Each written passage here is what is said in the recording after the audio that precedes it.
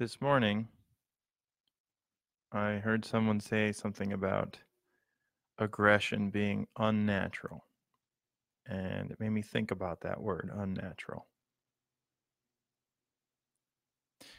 Because I, I wonder what people mean when they say that. And the best I can come up with is unnatural means unnatural means something created by society and not by pre-society genetics or something like that. That's that's what it seems to be because we don't hold primates to the same um, standard. Otherwise, we'd say aggression is definitely, you know, 100% natural because primates show aggression and they're pre-societal. Uh, and I, and I was thinking about like, is anything unnatural? Because society is arguably natural, and I, uh, I think, I think what we, what we're doing is having a disagreement over the multiplier of society. I, I think that society just society and culture and all of that it just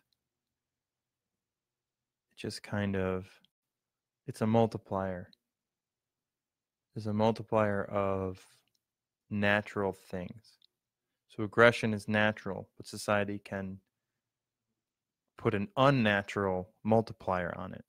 But there is, you know, other multipliers that we're perfectly happy with, you know. We all live in houses now. It doesn't seem unnatural that we'd look for shelter. It's a good thing that we live in houses. It's a good thing that we have shelter that we have things like lumber and writing. Is that natural? It seems like writing is just a natural tendency to want to communicate as far as possible.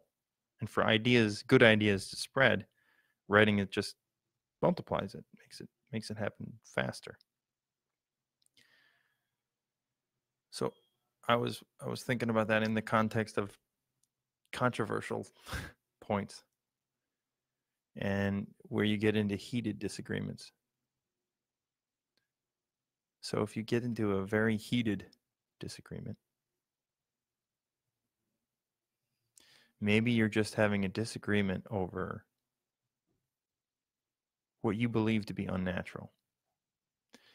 There's a there's a danger there because you see the what the other person is doing is unnatural. So pick pick a topic, abortion, uh, immigration, gun rights, pick a topic, whatever side of it you want. You probably see the other side as unnatural. If you're if you're uh, highly in favor of immigration, then you see borders as unnatural. But you know, borders aren't really 100% unnatural. Wolves have borders. Primates have tribes. There are borders. We have borders. But if you're on the other side of that, and you think that immigration itself is unnatural, that doesn't make much sense either. Because then how did you get to where you are? So, what is unnatural? Everything and nothing, I think. The next time you're having a heated disagreement with somebody and you're triggered by what you see as unnatural,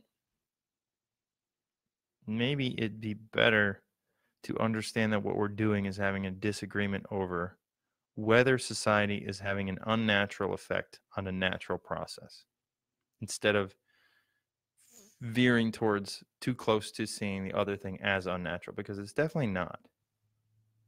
And that's what I felt like to get a little meta. I had that reaction when somebody said aggression is is unnatural and I wanted to see that statement as unnatural. but it's not. It's natural for people to be worried about things like aggression and to want it to be something in the past or something that we could completely get rid of. It's natural and good to want to minimize it.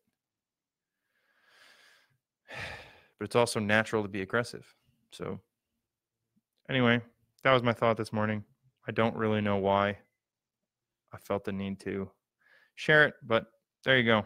Have a good day.